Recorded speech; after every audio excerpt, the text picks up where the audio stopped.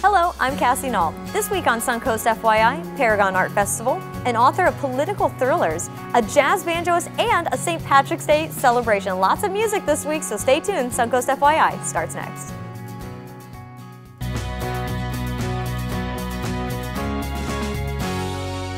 Thanks for joining us today on Suncoast FYI. The mission statement of the Paragon Fine Art Festival is to create a high quality art destination, and where better to do that than right here on the Sun Coast. Now, that festival is taking place this weekend, beginning tomorrow and continuing into Sunday. And we have one of the artists joining us here now to tell us a little bit more about herself and her artwork. This is Cheryl Summer. Welcome to the show. Thanks, Cassie. So Thank tell you. me, tell me a little bit about yourself. Well, Cassie, I am a, uh self-taught artist. Mm-hmm. I'm an abstract mixed media painter, and I love spreading my color all over the United States. And I'm so happy to be down on the Sun Coast finally after living in Ohio for Oh, I bet. many years. Especially with the weather they got this time of year. That's right.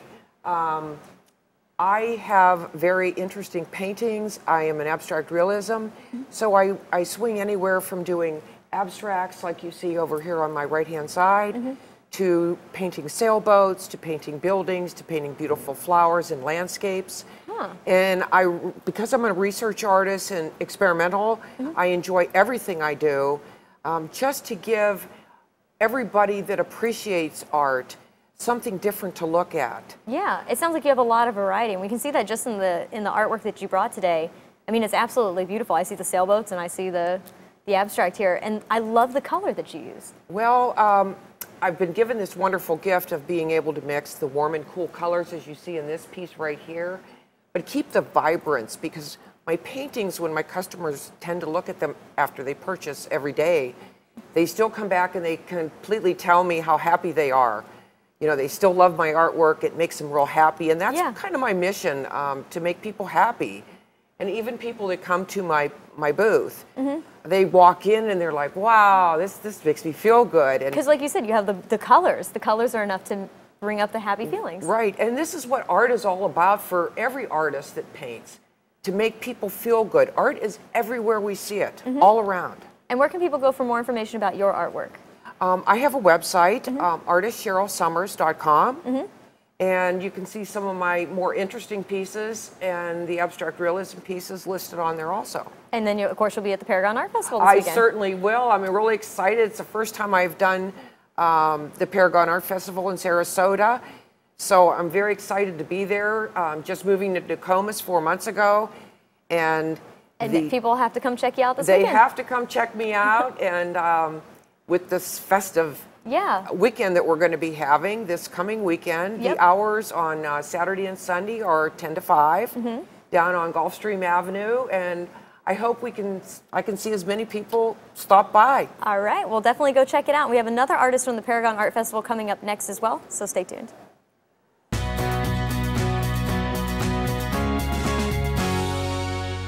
And we continue now with more from Paragon Art Festival. Another artist joins us now. This is Joan Michlin and her representative slash husband here, Skip Ennis, who uh, is going to be helping us answer questions for the day today.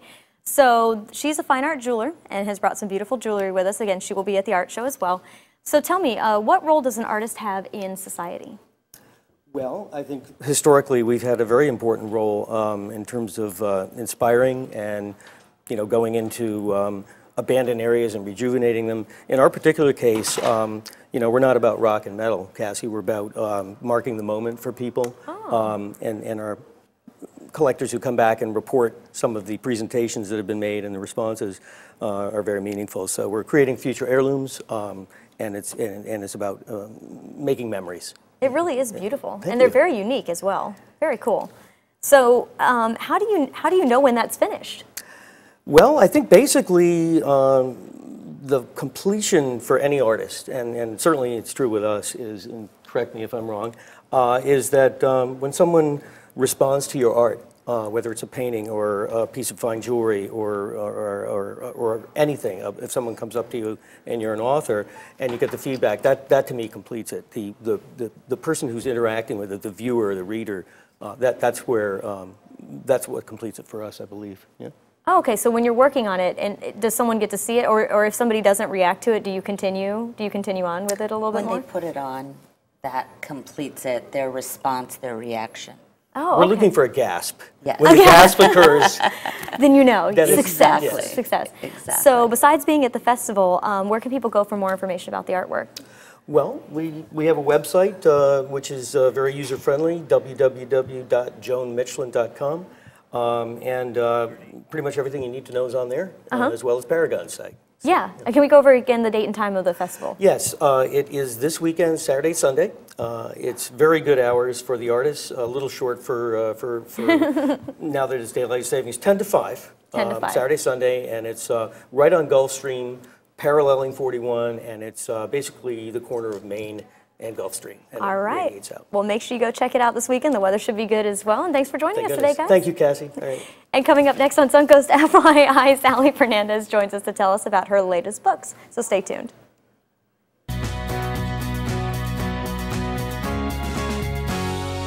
Welcome back to Suncoast FYI. I'm Cassie Knoll. Sally Fernandez is a novelist of provocative political thrillers and has a new book coming out. She joins me now to tell us more. So welcome to the show. Thank you, Cassie, for the opportunity. So I understand you began your writing career in 2008. How did you decide to become an author?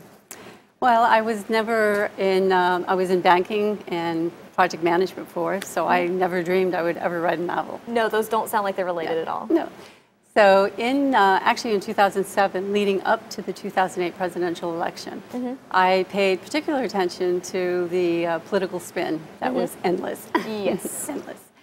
But as a political junkie, uh, it gave me an interesting challenge. So I decided to take one event that was repeated ad nauseum and uh, see if I could weave it into a plausible plot, sort of a kind of a what if. Yeah. And that's when I decided I really wanted to write a political thriller steeped in facts. And it just happened. and it just happened. That is really, actually, that's really cool. Yeah, it was. It was an exciting uh, adventure to try to get away from business writing and turn out fiction, but I decided I, I love the creativity. So you kind of mix the two together. Exactly. That's a challenge for the reader. It was really, it was really fun. And when I wrote the book, I, what I wanted to do is, is I didn't want to write a book just to entertain. I Mm-hmm. wanted to write something that would inform, but also cause the reader to question the plausibility, the what if. Yeah. Yeah, and you and you leave it up to them to find out what is fact versus what is fiction. Exactly. That is very nice. You make your you make your readers think. All right, so we're calling it a political thriller steeped in facts. How would you describe that genre? Uh, it's a suspenseful read with Mm-hmm. political overtones. Um, but I also believe with the contemporary facts, especially today, Mm-hmm. that it, they can't be ignored. And uh, if I can quote a wise man, Pericles, who said 430 BC, Uh-huh. uh, just because you're not interested in politics doesn't mean politics won't be interested in you. Mm-hmm. And there's uh, just quickly another luminary. Uh, Francis Bacon said, Truth is hard to tell. Sometimes you need fiction to make it plausible. And that kind of actually became my mantra because it kind of captured the essence of my writing. It- yeah, it sounds like that. Actually, that fits perfectly in there. So tell me more about your first novel and how you ended up with what you call the Simon trilogy. The first novel, Brotherhood Beyond the Yard, uh, started in 1995 at Harvard University. And a group of uh, scholars got together, formed a study group, and they called themselves La Fratellanza, the Brotherhood. And they decided they would uh, try to put together a fictional plot, only as an intellectual game. But years later, they came together, and the plot morphed into reality. Oh. And it involves the election of the president, the banking crisis, uh, computer hacking, and international terrorism. My goodness, you cover a broad subject matter there. Goodness gracious, and that's all in that trilogy? That's all in the Brotherhood. Oh, just the Brotherhood. But when I wrote the Brotherhood, I knew it didn't end, Uh-huh. and I knew there had to be a sequel. So the second book, Noble's Quest, uh, starts off with earth-shaking events in Europe and uh, the U.S. Seemingly detached, but uh, they are not coincidental. yeah. And there's land grabs, uh, political manipulations, and terrorist camp in this one. Look how excited she is about all of this. you get so excited when you're talking about it. Um, okay, so with your fourth novel about to be published, which we happen Mm-hmm. to have a secret copy here, um, does that mean that your trilogy became a tetralogy? I guess that would be. Well, when I finished the third book um, to complete the Simon trilogy, The Ultimate Revenge, I told my husband that I had a fourth book that needed to be told. And he said, uh, trilogy's three. yep. But I had this story, I had to, in the characters, Simon is the, the mastermind of the terrorist threats.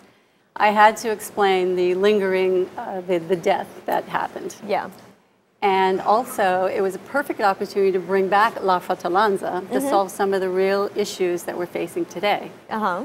So the uh, president was facing a bunch of crises, and he brought together, he asked Noble to bring back La Fratellanza, go underground, devise a plan to solve the crisis, jobs, uh, our statue in America. Um, and uh, they have 65 days to do it.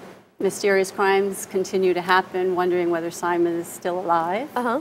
And basically, our main characters one is out of contact, the other's life is at risk, the country's at crisis. And it sounds like this is a storyline that could continue. Yes. Continue. It could continue. More. It could.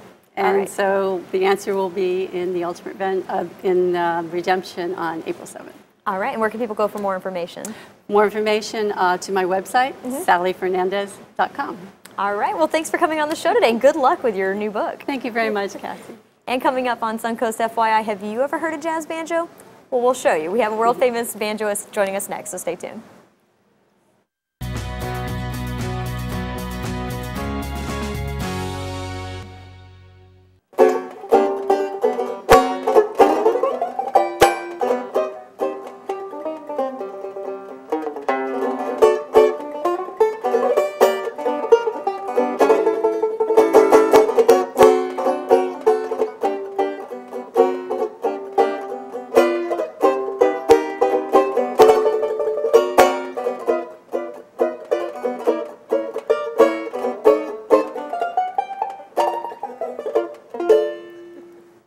That is so cool.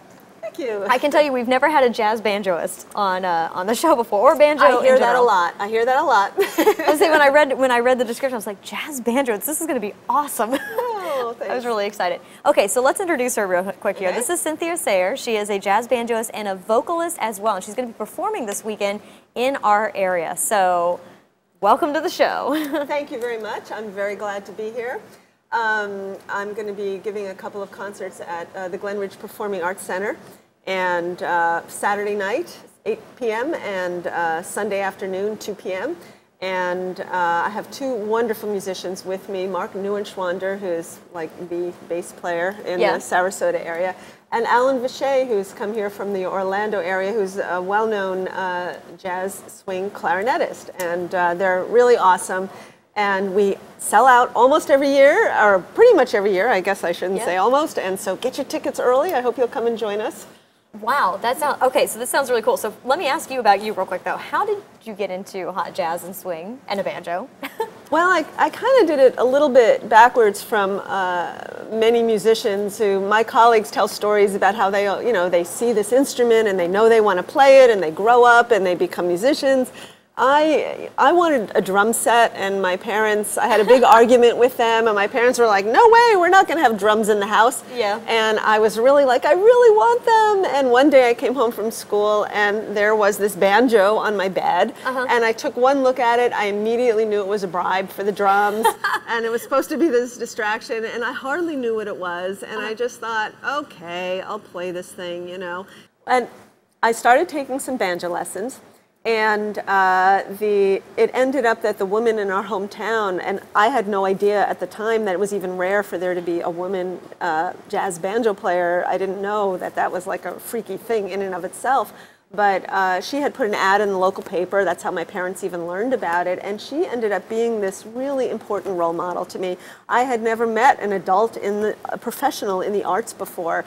And she was kind of this living example of. Um, I don't know, a whole life that sounded so exciting and wonderful. Uh, but um, I still wasn't planning to be a musician. To me, it was fun, it was a hobby. And uh, I thought I'd be a lawyer. I did well in school and I got my undergrad degree. And I wanted to take a couple years off, or a year maybe, you know, before I went to law school. That's the trap right there. I know, yes, yes, yes. And of course, I just never went back. And Oh. I had to give myself permission to do, like, this was really This fun. is okay, and you have fun, right? Yeah, you enjoy I your love job. what I do. I think it's amazing. It gives it's it's hard work. Being a musician is really hard work. Mm-hmm. Sometimes people think, oh, you just play, you know. Yeah, but no, there's a lot more that goes there's, into There's it. a lot more that goes into it. Yeah, but I love it. So you are one of the top four-string banjoists worldwide. so there's also five-string banjo. Yes. That's the difference yes. in there. The difference, four string and five string, and, and interestingly, like the worlds between four string and five string used to be very separate. Most people, when they think of banjos, they think of like bluegrass and country music and folk music, and that's actually a whole different instrument. Uh, I have four strings, they have five, and they do this like finger picking thing. Yeah. And uh, I play with a flat pick, and uh, sort of like a jazz guitar, I strum, and I also play single string. And it's a whole different thing. And the like, I don't know how to play five-string banjo, Uh-huh. and they don't know how to play this, even though they're all called banjos. And people Totally don't realize there's all different genres, different history, different everything. But it used to be that there was this big gap between us, and now there's a lot of crossover going on. Yeah. Yeah. So, um, shortly, tell me what it was like to play in Woody Allen's world-renowned jazz band for over 10 years. I know that sounds like a, uh, it is a huge accomplishment. it's uh, it was it was a great pleasure. Woody uh, is he plays clarinet. I understand you're a clarinet Mhm. player. I learned that from your guest, from Yeah. your other guest today. Yeah. And uh, he actually is a really good. I'm asked all the time if he's good at what he does. He's great. Uh, he plays with amazing emotional abandon, and being in his band was an experience to play early New Orleans jazz in a very authentic way. Most of the time, I played piano in, in the Oh, band. okay. I did play some banjo in there too, Uh-huh. and uh, I loved it. It was fun. It was great. It was good music. And good now this music. weekend we get to sample your banjo playing again, time and place for your concerts. Um, it's at the Glenridge Performing Arts Center, and uh, Saturday night, 8 p.m., Sunday afternoon, 2 p.m. And people need to get the tickets for it. Yes, So- we, we've sold out the past few years, so get your tickets soon. And I hope, I hope, and I've got wonderful people playing with me. Where can they go for more information? Um, online, you can get tickets online at uh, gpactix.com, gpac. Uh, yeah, with, with an X. We'll put it on the screen. Oh, okay. Yeah. and uh, or, or you can call the box office, and uh, they'll they'll happily sell you some tickets. All right. Well, thanks for joining us today, and good luck this weekend. Thank you. Thank you so much. Thank you for having me on. And next on Suncoast FYI, more musical fun. This time we will help you get in the mood for St. Patrick's Day. So stay tuned.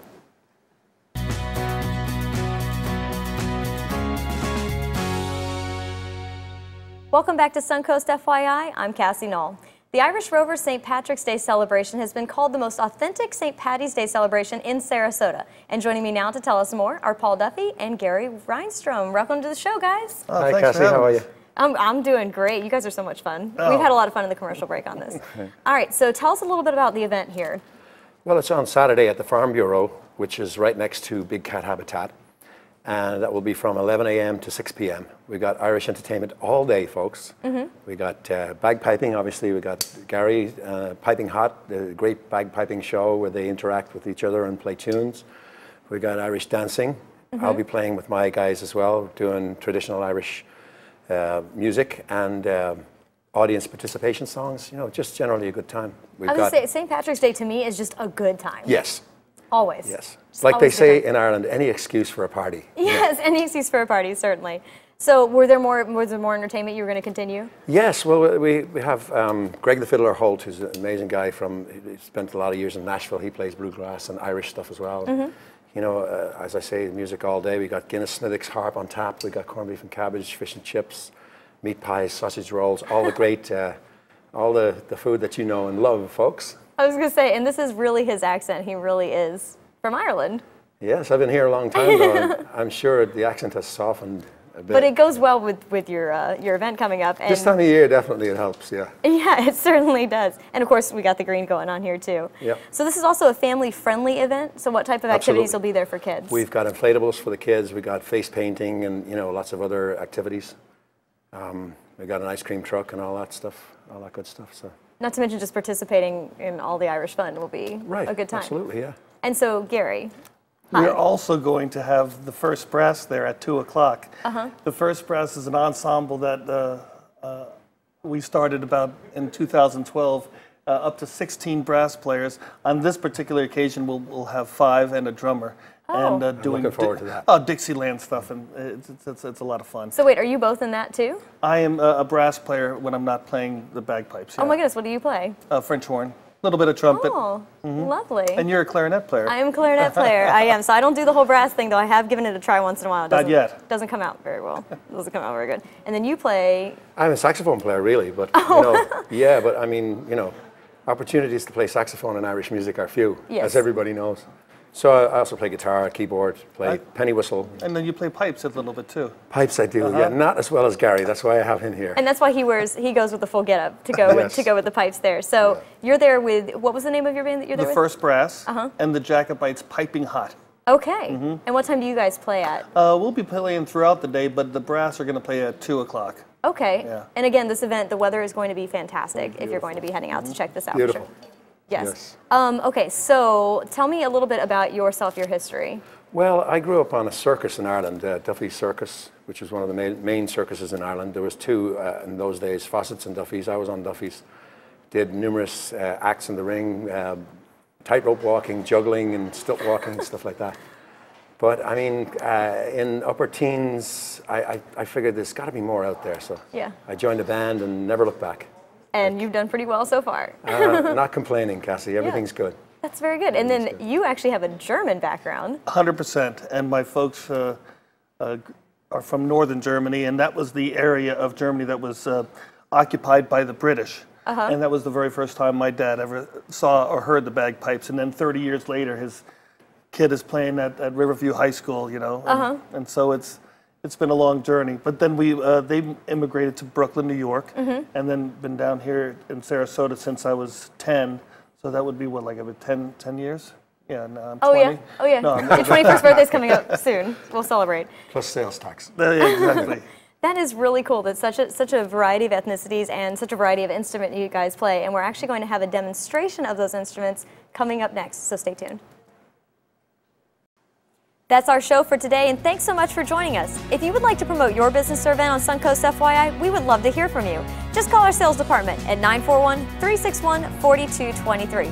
I'm Cassie Knoll, and we'll see you next Friday on Suncoast FYI. But hang around just a little bit longer. We have a preview of the music that you can hear tomorrow at the Irish Rover St. Patrick's Day celebration with Paul Duffy and Gary Reinstrom. Check it out.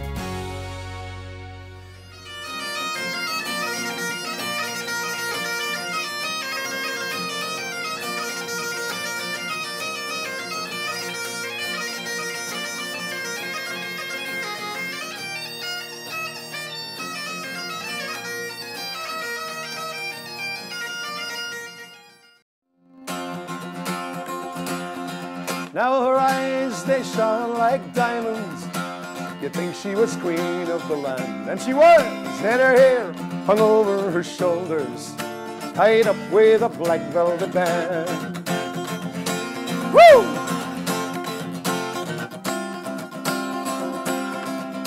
Now as I went walking in Sarasota, not intending to stay very long, well, I met with a frolicsome.